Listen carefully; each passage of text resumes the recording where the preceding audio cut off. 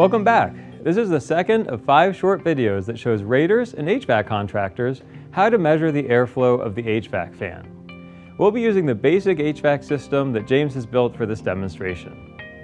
Before we actually take any measurements, we first need to make sure the fan speed setting matches the design. The fan speed setting has a huge impact on static pressure, so we want to make sure that that's correct before we go any further.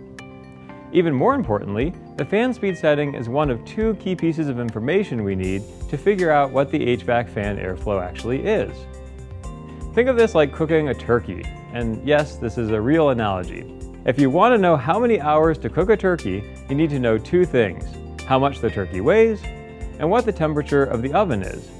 Either one alone won't give you enough information. Only when you know both of those can you look up how long to cook it for. So determining the fan speed setting is the first critical piece of information that we need. Now, how do we figure that out? Well, it turns out that nearly all HVAC equipment includes a wiring diagram right on the equipment itself, which is just the information you need. On the equipment that James is using, this wiring diagram is on the inside of the furnace panel, a pretty common place. So James has removed the panel to give us a closer look at this diagram. In this section here, we see that the color of the wire connected to the cooling input determines the fan speed setting. So for example, for this equipment, if the blue wire is connected to the cooling input, then the fan speed setting is medium-low. If the yellow wire is connected, then it's medium-high. Red is low speed, and black is high speed. Now let's look at the actual equipment.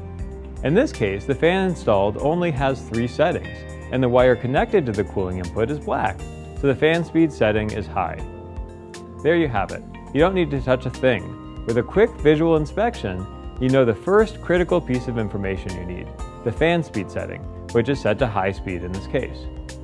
Watch our next video to see how to measure static pressure, which is the other key piece of information you'll need to determine proper airflow.